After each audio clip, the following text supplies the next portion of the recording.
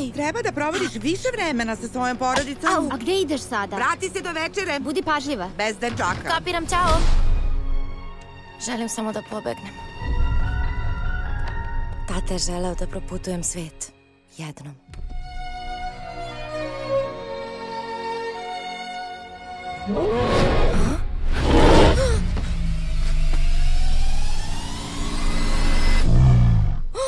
Na mom krovu se nalazi jeti. Ej, dečko, ili devojčice.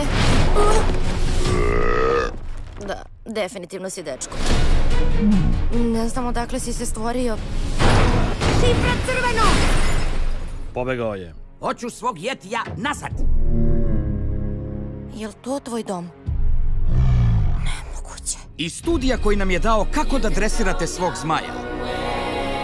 Potrudit ću se da se vratiš kući, svojoj porodici.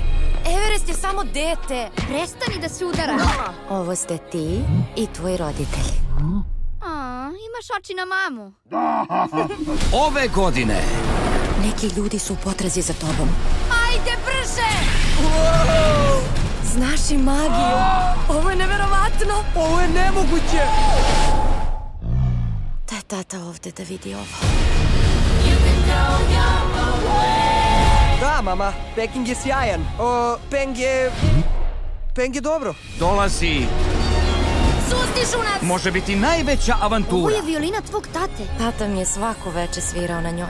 Kao da je govorio koliko god put bio težak, nikad ne odustaj. Prelepo je. To si ti uradila, Ji! Stvarno. Kad se Jino nešto usresredi, ništa nije nemoguće.